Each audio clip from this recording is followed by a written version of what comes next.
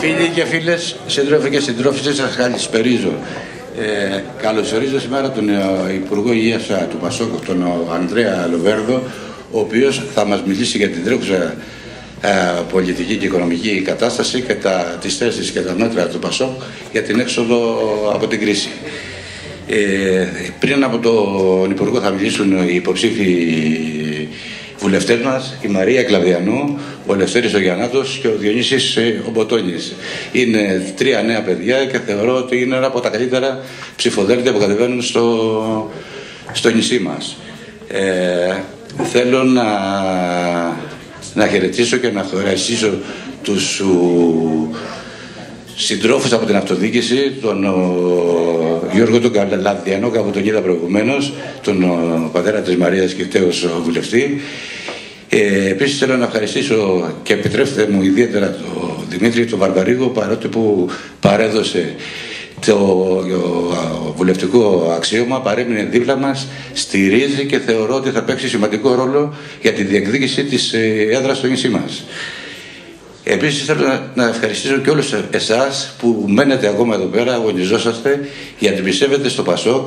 Πιστεύουμε όλοι στο Πασόκ, πιστεύουμε ότι είναι ο χώρος ο οποίος μας ανέδειξε μέχρι τώρα και έχουμε φτάσει εδώ που έχουμε φτάσει παρόλα τα προβλήματα και παρόλα τα λάθη μας.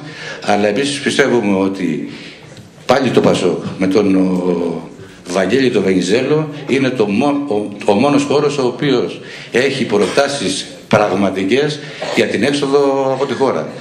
Ε, δεν έχω να πω τίποτα άλλο, μόνο θέλω να απευθυνθώ προς τον Υπουργό και να επιστήσω την προσοχή σας γιατί πιστεύω ότι είναι και ανησυχία όλων σας ότι η Υπουργέ μου την επόμενη μέρα πέρα από το ότι πρέπει να υπάρχει κυβέρνηση που το είπες πολλές φορές σήμερα και όλοι το πιστεύουμε διότι η κυβερνησία δεν οδηγεί πουθενά θέλω να δούμε εκ μέρους όλων πιστεύω τη λειτουργία του κόμματός μας θεωρώ ότι είναι ο χώρος ο μεγαλύτερος που εκφράζει τον λαό στην Ελλάδα. Πρέπει άλλοι να τα ξαναβάλουμε τα πράγματα κάτω, να ξαναδούμε τις, τα λάθη μας, τις παραλήψεις μας και ό,τι άλλο έχει γίνει λάθος μέχρι τώρα, ούτως ώστε να τον κάνουμε ένα χώρος ο οποίος να παίζει πρωτεύοντα ρόλο στην πολιτική σκηνή της Ελλάδος. Νομίζω ότι μας πρέπει αυτό το πράγμα. Ευχαριστώ πολύ και τον λόγο τον έχει η Μαρία Κλαβιανού, υποψήφια βουλευτής μας.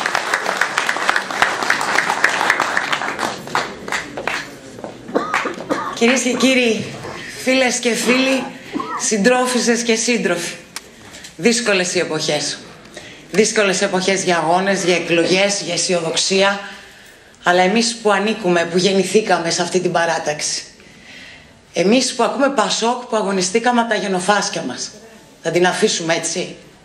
Θα αφήσουμε έτσι τη χώρα μας στην ακυβερνησία; Θα την αφήσουμε στο χείλος του γκρεμού; Τα λάθη πολλά και μας πικράνανε. Μας τιμώσανε, μας παγοήτευσαν, μας φόβησαν. Και τώρα, τώρα τι, πού είναι η λύση; Πού είναι η λύση αν δεν είναι στη δημοκρατική παράταξη; Πού είναι η λύση αν δεν είναι στο Πασόκ που έχει προσφέρει τόσα και τόσα στην ελληνική κοινωνία. Πού είναι, στην αριστερά που λέει κίζει, που κοροϊδεύει, που δεν θέλει να κυβερνήσει, Στη Νέα Δημοκρατία που έφτασε τα οικονομικά μεγέθη εδώ που έχουν φτάσει σήμερα, πού ακριβώς βρίσκεται; Αντιλαμβάνομαι και σέβομαι τον πόνο και την αγανάκτηση κάθε πολίτη. Νιώθω κι εγώ η ίδια αυτή την αγωνία για το αύριο. Αλλά νομίζω ότι πρέπει να επικρατήσει η σύνεση, η οριμότητα και η υπευθυνότητα.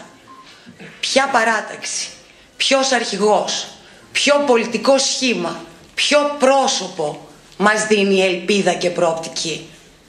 Το Πασόκ έχει μάθει από τα λάθη του. Κάνει την αυτοκριτική του.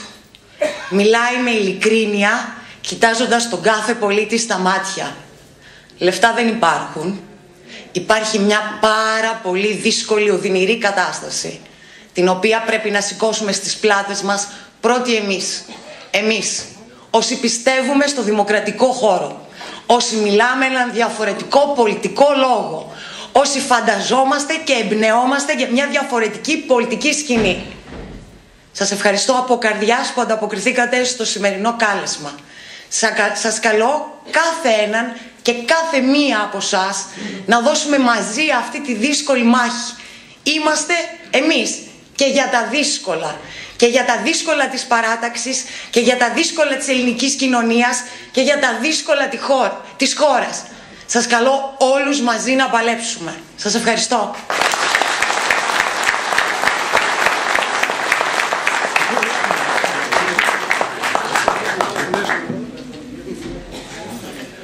Ο Λευτέρης ο Γιαννάτος τώρα έχει το λόγο.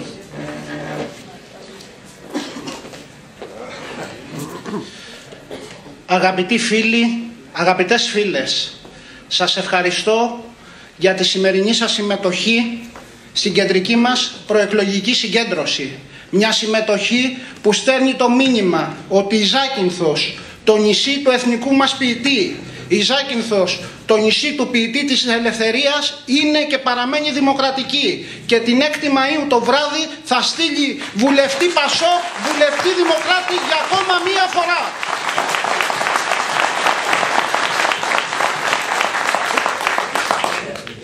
Τον Οκτώβρη του 9 παραλάβαμε μια οικονομία που είχε ήδη καταρρεύσει. Όχι υποκατάρρευση, σε κατάρρευση. Ακολουθήσαμε μια μοναχική πορεία.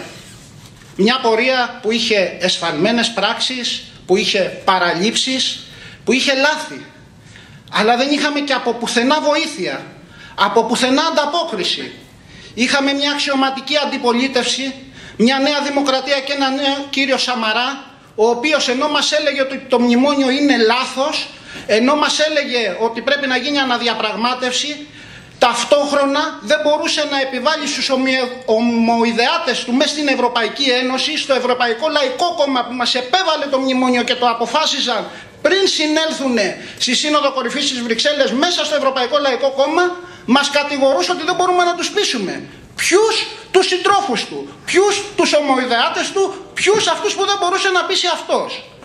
Ταυτόχρονα είχαμε μια αριστερά η οποία από τη μια μεριά πρότεινε διαγραφή χρέους, μονομερή διαγραφή χρέους και από την άλλη ένα άλλο μέρος της αριστεράς μία περίεργη πρόταση περί μονομερούς καταγγελίας του μνημονίου. Δηλαδή ένα ιδιότυπο χρεοστάσιο, μια ιδιότυπη στάση πληρωμών, δηλαδή προτάσεις που μας οδηγούσαν στις χώρες του τρίτου κόσμου.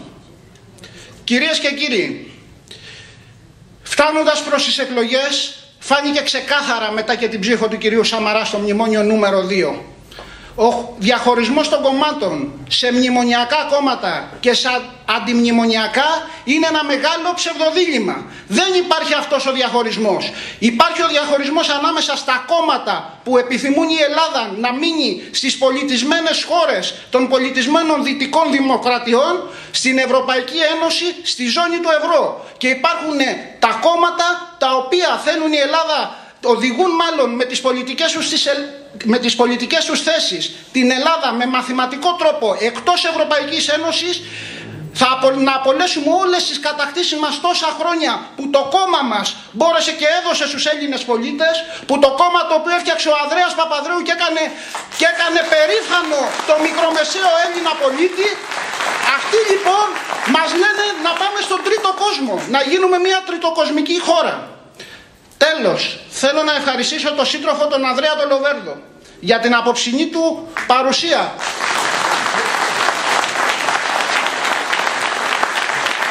Και σύντροφε Αντρέα, σου λέω από τώρα να μεταφέρεις στον πρόεδρό μας τον Ευάγγελο Βενιζέλο ότι από την Κυριακή το βράδυ η πρώτη έδρα που θα προσμετρήσει στο κόμμα μας είναι η βουλευτική έδρα της Ακίνθου.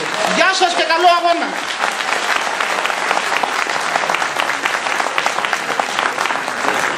Ο Διονύσης Σεμποντώνης έχει το λόγο.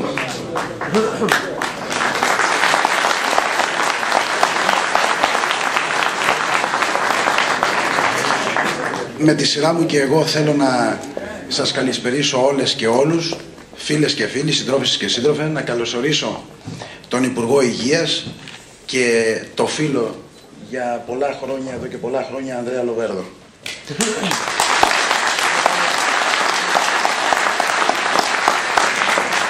Να ξεκινήσω λέγοντας το εξής.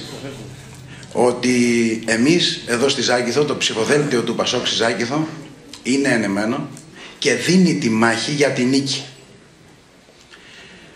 Τίποτε άλλο αυτή τη στιγμή δεν μας απασχολεί.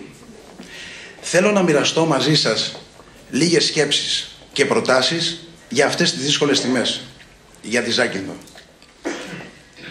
Αυτό που θέλω και εγώ, αυτό που θέλετε και εσείς είναι να πραγματοποιηθούν τα οράματά μας. Αυτά που είχαμε και αυτά που έχουμε και δεν έχουν πραγματοποιηθεί. Θα προσπαθήσω εγώ προσωπικά με όλες μου τις δυνάμεις, από ποια θέση και αν κατέχω την επόμενη των εκλογών, να βοηθήσω σε οποιαδήποτε κατεύθυνση και σε οποιαδήποτε προσπάθεια έχουμε συζητήσει και έχουμε αποφασίσει εμείς ως Πασόκ. Θέλω προσωπικά και θέλουμε νομίζω όλοι να δώσουμε μια νέα όθηση στο νησί μας. Να μιλάμε με τα καλύτερα λόγια εντός και εκτός Ζακίνθου και να μην ακούμε και να μην βλέπουμε όλα αυτά που είδαμε στο πρόσφατο παρελθόν.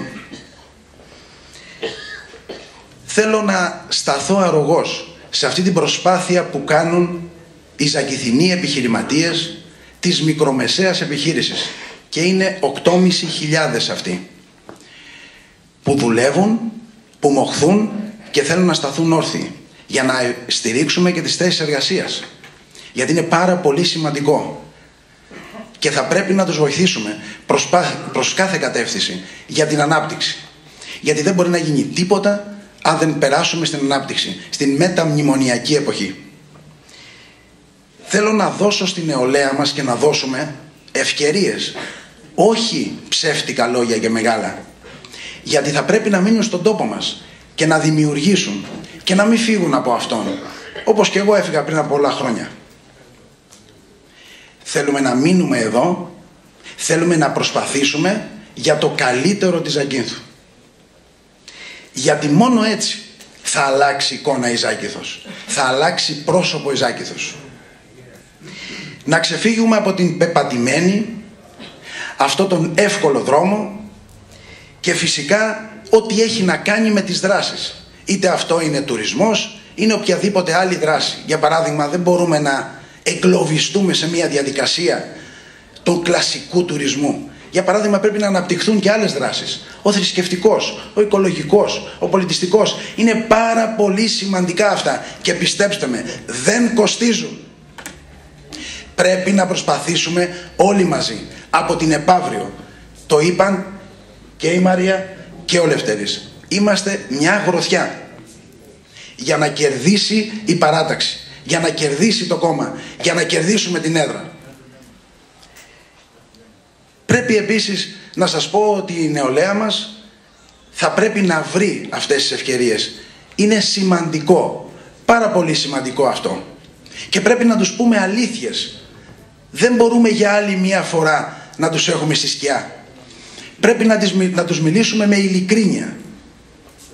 Δεν μπορούμε για παράδειγμα να δουλεύουμε πέντε μήνες το χρόνο και τους υπόλοιπους 7 να πηγαίνουμε στο Ταμείο Ανεργίας. Η Ζάκηθος μπορεί να μειώσει το Ταμείο Ανεργίας. Εννοώ τον αριθμό αυτή τη στιγμή που παίρνουν επιδόματα ανεργίας. Με θέσεις απασχόλησης. Μπορούμε να το κάνουμε. Εάν θέλουμε, εάν προσπαθήσουμε όλοι μαζί. Και επιτέλους, θα πρέπει να ξαναθυμηθούμε ότι είμαστε το νησί των εθνικών ποιητών και του Αγίου της Συγνώμης. Και επειδή Υπουργέ βρισκόμαστε σε μια προεκλογική περίοδο πριν ανοίξουν οι κάλπες όλοι θα πρέπει να ζητήσουμε ένα συγνώμη για το τι δεν κάναμε ή για το τι κάναμε λάθος ή για το τι δεν εμπνεύσαμε. Νομίζουμε ότι και αυτό το χρειάζονται οι πολίτες. Λοιπόν, να τελειώσω με το εξής. Η 6η Μαΐου είναι μια πολύ σημαντική μέρα. Ψηφίζουμε για κυβέρνηση και όχι για μια αρνητική αντιπολίτευση. Σεβόμαστε όλες τις απόψεις, αλλά η χώρα πρέπει να κυβερνηθεί. Δεν έχουμε άλλες επιλογές. Δεν έχουμε την πολυτέλεια να παίζουμε με το χρόνο. 14 Μαΐου ο Υπουργός Οικονομικών πρέπει να πάει στις Βρυξέλλες. Ποιος Υπουργός Οικονομικών θα πάει στις Βρυξέλλες; Εμείς θα αποφασίσουμε στις 6 Μαΐου. Πρέπει να κάνουμε κυβέρνηση Δευτέρα το πρωί. Μέχρι να κλείσουν οι κάλπες πρέπει όλοι εδώ αλλά και οι χιλιάδες έξω από αυτή την αίθουσα να δώσουμε το βρωτερό παρόν σε κάθε σημείο της Ακίνθου. Να κερδίσουμε την έδρα. Μπορούμε, η έδρα θα είναι Πασόκ. Γεια σας και με την νίκη.